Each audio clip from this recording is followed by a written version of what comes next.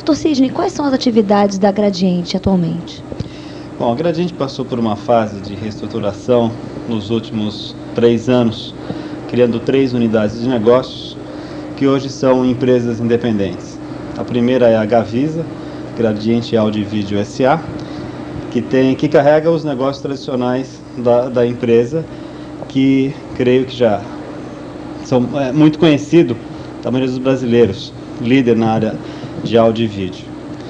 Temos a Gradiente Entertainment, que é a empresa que atua na área de videogames, com parcerias com a Nintendo. E a Gradiente Telecomunicações, que também se tornou uma empresa totalmente independente, é, que hoje disputa, inclusive, quer dizer, a única empresa nacional a disputar a liderança, inclusive, do segmento de telefones celulares no, no país. Né? Temos uma, uma parceria com a Nokia, uma parceria tecnológica com a Nokia, através da NG, Nokia Gradiente Industrial, que é a nossa fábrica que está em Manaus. E quais são as últimas novidades para os consumidores em termos de telefonia? Bom, ah, como vocês devem estar acompanhando, né, hoje o telefone celular é o, como costumamos dizer, o objeto de consumo da vez, né? O, e essa foi uma decisão acertada até do, da Gradiente, diversificar seus negócios. Hoje o consumidor está deixando de comprar talvez uma geladeira, uma televisão e comprando um telefone celular. Então hoje nós, como é cultura da Gradiente, nós estamos procurando ter produtos para os vários segmentos né, da população. Desde um produto mais barato, uh, para um segmento pré-pago, por exemplo, né, um produto mais jovem, um produto para o executivo. E lançamos agora, inclusive mês passado, o Chroma, que é esse produto aqui. Hoje é o produto talvez mais uh, sofisticado que exista no, no, mercado. Ele não, não tem antena, ele tem um, um slide aqui ativo e recursos inéditos, 250 memórias, agenda, relógio, calculadora, até joguinhos, tem quase joguinhos, despertador já incorporado. E a grande inovação é, é o design, né? Então, o, o, a Gradiente, para essa tradição toda de, de 35 anos de, de mercado, né? Ela se preocupa muito com o consumidor. Então, nós, nós dizemos agora que o celular já não é mais, quer dizer, esse, esse, esse produto não é um telefone, é um objeto de uso pessoal, porque todo mundo um dia vai ter um, assim como você tem um relógio hoje, né? Uhum. E muitos têm um relógio enfim, mais baratos, tem relógio mais sofisticado, de grife, e é a mesma coisa, você tem que ter a opção de ter o produto, né?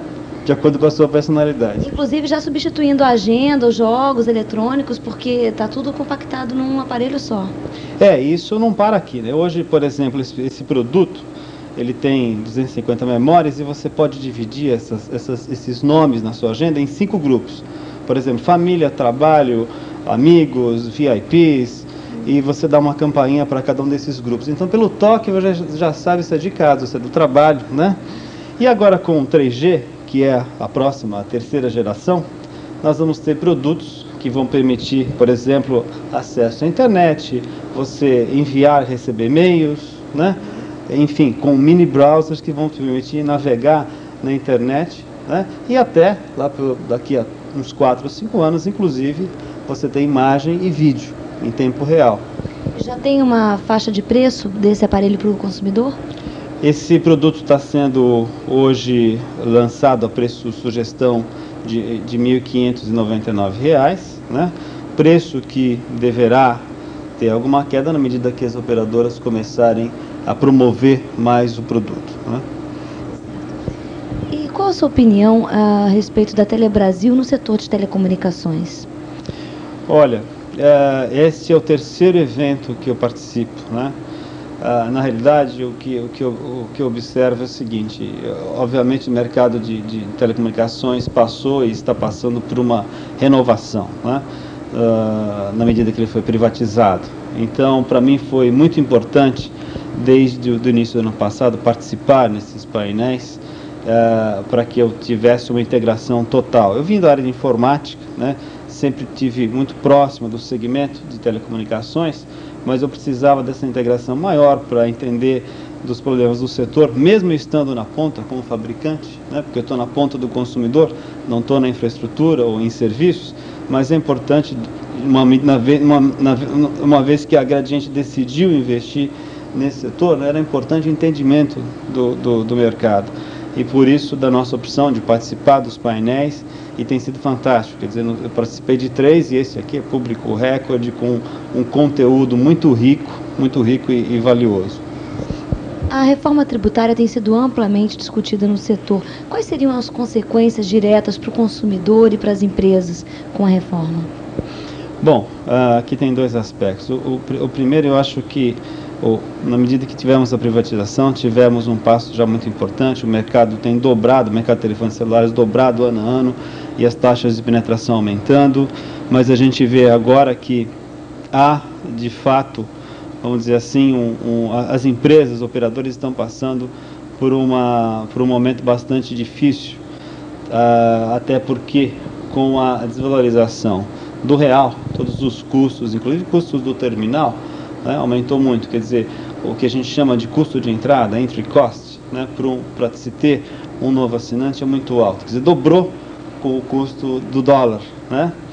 E, e, a, e, a tributação toda existente na, na, na, cadeia é altíssima, é altíssima. Eu acredito que a, a reforma tributária, eu acho que é especialmente é, importante para todos os setores, mas para o nosso segmento, para, enfim, dar saúde financeira, às empresas do setor seria extremamente importante para que a gente pudesse continuar crescendo na medida que o país precisa. Né? No próximo ano será lançado o programa Telebrasil Notícias, que representa para o setor ter um programa de televisão específico, discutindo todos os problemas, os assuntos e as novidades.